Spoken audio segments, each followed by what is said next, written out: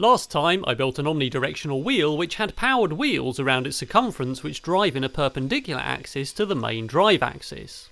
I looked at two existing designs for this. The first was OmBURo, which uses helical gears to convey motion to the smaller wheels from a motor aligned with the main axis of the wheel. This allows differential drive between the two motors, one driving the main axis and one driving the smaller wheels. This works pretty well and allows the complete machine to balance on one wheel. I also looked to the Honda U3X and the Honda patent for their active Omni wheel.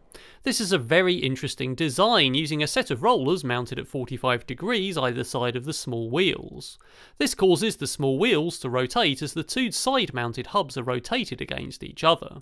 I made a couple of changes to this design, mainly adding a central hub to hold all of the small wheels around the circumference in place. The original patent showed them all mounted on a flexible shaft, but this is quite hard to reproduce with no stretch and keeping high torsion resistance. I used thrust bearings and ball bearings to keep everything aligned and to keep tension on the central hub.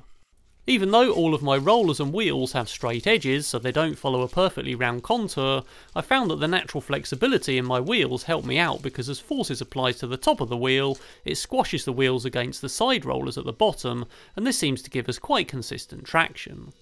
I wanted to improve on this slightly though, and also reduce friction a little, so this time I've made new wheels with a rigid hub, these snap into place due to a feature in the middle, and this allows the wheel's rigid hub to run on the axle rather than the TPU, but it still gives us some friction to grip on the driving surface.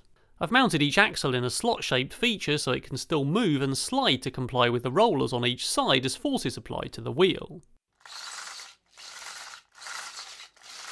That seems to run okay, so the plan is to attempt to make a one wheel balancing robot with it just like OmBURo on the Honda U3X.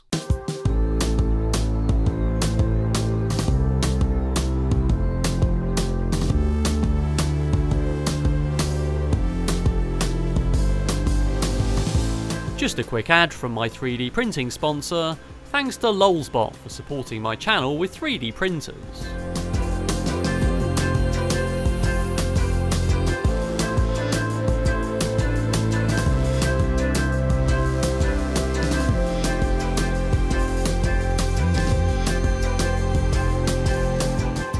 Thanks to 3D Fuel for the filament for this project and lots of other projects, so check out my channel for more 3D printing projects and check out 3dfuel.com.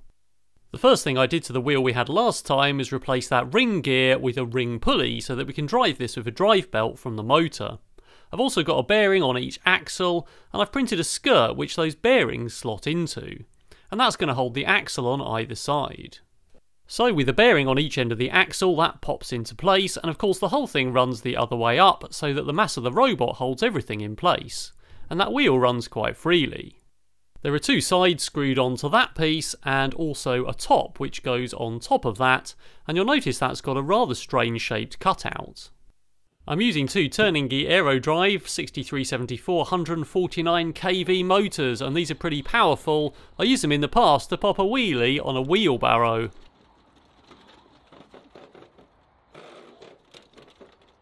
These go on some mountings and you'll notice they're actually both identical rather than symmetrical and that's because they fit back to back and that makes the two shafts off-centred.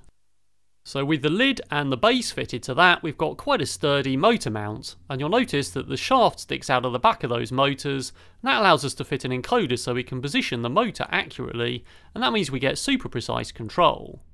And as you'd imagine that funny shape fits into the funny shape cutout on the base we already made. But as you can see, we're going to need some way to tension those belts because they're pretty loose and that's not really going to allow us to drive the wheel at all, at least not with any accuracy. So ideally we need some sort of idler or a way of actually tensioning that belt up. But luckily I've already thought of something that's built into the design. I've left a letterbox on the end and the reason that motor assembly is a funny shape and slots into the funny shape on the lid of the base is so we can stick a wedge in. So if I just pull that out and stick a spanner in we can see that our belt is nice and tight now. But I'm not going to leave spanners in there so I've made a couple of 3D printed wedges that are just the right size. And for anyone interested this is a T5 belt which is 10mm wide and 630mm long. So that seems to be running fine now, my belts are tensioned up so we can drive the two sides of that wheel with the motor, and we've got encoders fitted to each motor. I'm using an ODrive 3.6 which is a brushless motor driver and will drive two brushless motors and position them with encoders. Thanks to Cool Components for sponsoring the electronics for this video, I've got a Teensy 4.1, which is the main microcontroller for this, as well as an MPU 6050, which is the inertial measurement unit I'll be using to measure the angle and balance, and the NRF24L01 radio chip, so I can hopefully drive it via remote control and I'll be using the OpenDog 3 remote for this as usual. I'm using two LiPos which are 6 cell at 24 volts or thereabouts and each one's 1300 milliamp hours and I'm going to run those in parallel to get twice the capacity. So all of that's mounted on the top of the robot, we've got the electronics there with the batteries underneath, and on the other side is the ODrive of all of our power wiring. I also put a handle on top so it's easier to hold it and it'll be easier to tune it up when I'm tuning up the controller to make it balance. But before we continue with that, it's time for a quick ad from the video's sponsor, which is Altium Designer. Altium Designer is the world's most trusted PCB design system. It allows engineers to connect effortlessly with every part of the electronics design process. Altium Designer brings 35 years of innovation and development and is focused on a truly unified design environment which makes it the most widely used PCB design solution. With Altium Designer, you can create PCB designs with an intuitive and powerful interface that connects you to every aspect of the electronics design process. Altium Designer allows you to share the real-time state of projects on the web so that web team members, manufacturers, and even customers can review and mark up your designs without ever leaving your design space. Altium Designer integrates with mechanical design software and allows bidirectional communication between your ECAD and MCAD tools, which makes collaboration with other parts of the product design team easy. Native integration with Autodesk Inventor, SolidWorks and PTC Creo is up to 10 times faster than your typical error-prone data exchange methods. As a result of the Altium 365 Cloud, which comes included in your subscription plan, teamwork and collaboration are easy with nothing additional to install or configure. So check out the link in the description to this video to start your free trial of Altium Designer today. For now, I just wanted to get a grip on the controls and getting that motor running with the encoder and getting the ODrive set up. So for now, I'm running this manually from the remote, and as you can see, if we drive both sides together, it goes forward and backwards. But if we drive either side in opposite direction, then it should stay stationary and those little rollers should roll side to side. But as you can see, there's quite a bit of creep, even though those rollers are rolling side to side as I'm running the opposite hubs in opposite directions, that wheel does creep along. And that's a bit of a problem and it's going to wreak havoc with our control system, because it won't know how to balance. So I tried tensioning up each side, and each side of these has a separate tensioner set of nuts that pushes the thrust bearing in to hold those hubs on. The best that I could get out of it though was that the wheel always creeps in the same direction, so here I'm reversing the direction of those hubs which are always running in opposite directions to each other, but the wheel is always creeping forward. That does show that the tension is the same on each side though, but I think the reason for the creep is the angle of the wheels, and both of those hubs are symmetrical which means it's probably pushing it in one direction more than the other.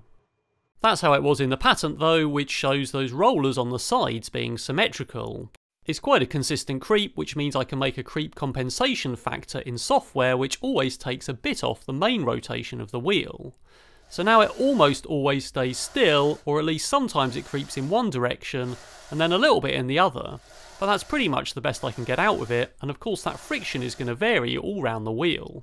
Now, I've tuned up quite a lot of balancing robots in the past. You can check out my balancing robots playlist on YouTube, but I'm really having problems with this one. Front to back seems like it should work, but side to side just doesn't seem to work at all. And on closer inspection, it appears that the side to side wheels just aren't getting traction with the surface, or something else extremely strange is going on, so it's almost impossible to tune up to balance. So with the motor actually turned off, it looks like those rollers will turn and I can actually backdrive them against the smaller rollers on the hubs. And that's probably why there's quite a lot of slippage when there's fast acceleration to try and make it balance. So I made new wheel hubs with longer slots in for the axles of the main little wheels all around the circumference. And that'll hopefully allow more squashiness so we can squish those wheels in at the bottom to meet with the smaller rollers. That doesn't seem to have really helped though, you can see the side hubs spinning away, but we're not going anywhere. So those little wheels are basically gripping on the surface, but the little rollers on the side hubs are just spinning past them and not conveying any traction. So I decided to go back to the wheels from last time, which are really squashy, because we seem to have quite consistent traction then, albeit at lower velocity. So we're going to put those back on and see what happens. And now I actually do have more traction, so you can see the robot is actually keeping up. I'm trying not to hold on to it too tight, and I've got it tuned up here in both axes. So it looks like it's almost working, but at some points when the wheels really need to turn fast sideways, then we do still lose traction. And you can see those side hubs spinning away, but basically the robot doesn't go anywhere again, and that wheel just gets stuck on the surface, and the side hubs just spin away nothing happens. And of course we still have that issue with slight creep as well, which is biasing the front to back axis and really upsetting the controller for that because the wheel's moving when it's not supposed to. So that's another problem that's inherent in the system. Even though those wheels grip a lot better, they still backdrive and they need to slip past so the side hubs can move their wheels at 45 degrees. If I tighten it up too much, the wheel jams.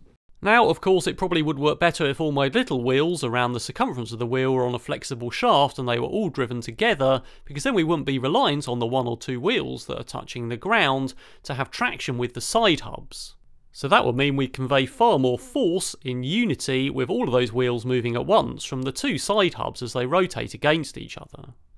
I considered trying to make this out of a flexible drive shaft. This is a Dremel one, where you put the Dremel on one end and the cutting bit on the other.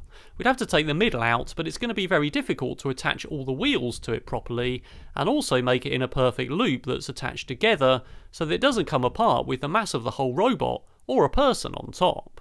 And even then we'd still have the problem of the creep, which we need to make sure those side hubs are perfectly tensioned and we've perfectly factored in software to take out the creep, even if it's in one direction. So it may well be that the helical gear solution for turning the drive round by 90 degrees that we saw in OmBURo is a better solution than these rollers. That still relied on a short piece of flexible shaft though linking every three wheels together.